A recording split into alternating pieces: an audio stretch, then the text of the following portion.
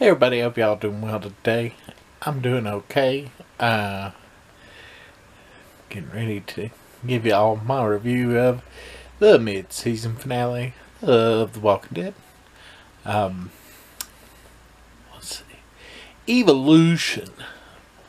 I'm sure just the name of the episode probably turned some people off. Of course, most people don't know the name of the episode because they're not paying attention that. It's only people like me that, uh, you know, take the time to find out what it is. Um,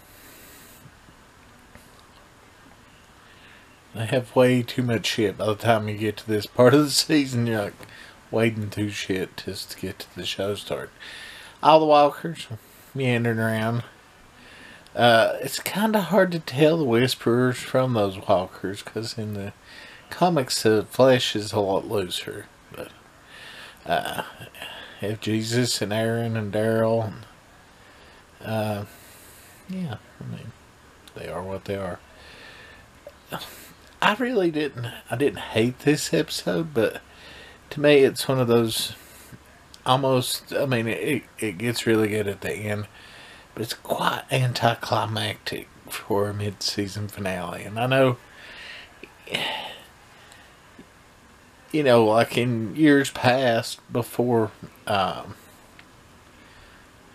before shows like The Walking Dead did uh, did the the you know half a season take a break and come back thing. You know, yeah, who would have really gave a shit if episode 8 or episode 10 in a season, you know, had a big cliffhanger because there will be another episode on the next week. But with this, you know, we're not going to have another episode for at least 10 weeks, so you kind of want something big to go out on. Now, the stuff with uh, Gabriel and uh, Negan, it's okay, but I watched it twice. I always watch these at least twice before I do a review. And it just, no, no. Didn't interest me that much. Uh, Michonne and them coming to Hilltop is sort of anticlimactic too. I mean, it's, it's interesting. It's decent exposition, but you still, I would like to know, there's nothing in the comics and there's nothing in this that I there's nothing I know of that's caused this rift between everyone, and it's maybe they will show what what went down because it's very confusing to not know why everybody's kind of at odds with each other. Uh, new people, they seem to be doing okay. Uh, I just cannot remember them from the comic. I'm sure if I reread, I mean, of course they will pop back into my mind, but, uh, you know, if if I reread it, maybe the, it'll click with me. Uh, Carol Michonne, I hate to see those two not getting along, but maybe with the second half, everybody will get back together. Because, I mean, that is the way they normally do with Walking Dead and Fear the Walking Dead. Everybody starts out together, and something happens, and then they're apart for one reason or another. And then by the time the season closes, they're back together again on some level. Um, I didn't think I would have that much to say about this, but this one's probably going to be just as long as all the other of these uh, videos. I'm glad that anybody watches them. I know uh, Melanie's the main one that does. No, thank you for watching. But anybody else that comes upon these, you know, I hope you find something good out of my babbling about the show. Uh, you would think that with at least uh, Eugene, you know, doing stuff to expand the radio range, he would have had a radio. That would have helped him find him. But, I don't know. Uh, yeah. Just watching Negan and, and Gabriel going at it. Which, you know, it's mediocre. And then uh, I cannot think of his name, but uh, young boy, you know, getting together with them other kids. Uh, you could just tell that's it's kind of echoing Carl, you know, and they got uh, Alexandria, but you can just tell those kids were going to be trouble. Because, uh, I mean, you're cooped up, of course you're going to be trouble. Uh,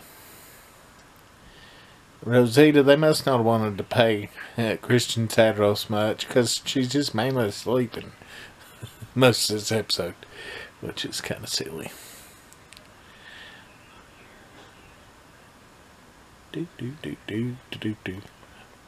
Very eerie in this last third, though, when they find Eugene and the fog set in, and it's it's almost like you'll see. Uh, like the thriller video just break out because it's just so foggy and eerie and the walkers coming now Negan escaping uh, but Negan escapes in the comics but it's a little timed a little bit differently so I don't know what they're going to do with it in this because it is it's not timed exactly the same it's it's close to it but it's not exact uh, yeah.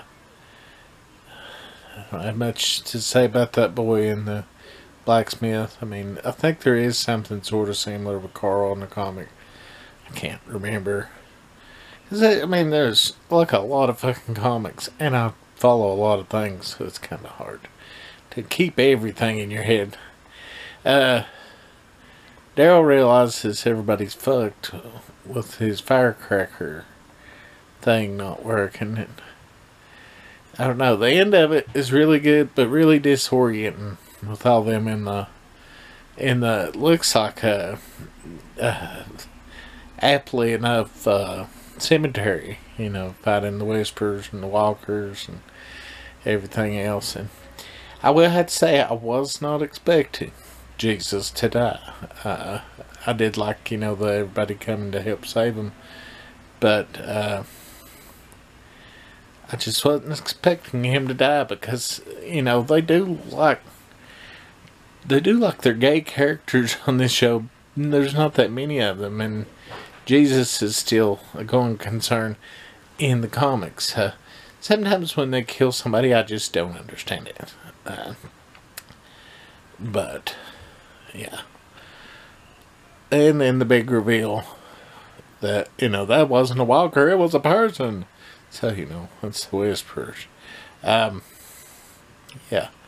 Uh, I hope that the other half of the season looks pretty good. I hope it is. I like this uh, Whisper storyline in the comics. If you don't read the comics, I think you may enjoy it. Even if you didn't like the Negan one, because it's it's it pays itself off a lot quicker and it, they're actually very menacing as the baddies. Anyways, that's all I've got today. Um, the next one of these will probably be in February because I don't think Fear the Walking Dead will start until the main show goes off in uh, probably April. So yeah, this will be the last one of these at least this year, I'm sure. Anyways, I will see you all tomorrow for a YouTube gym. Bye.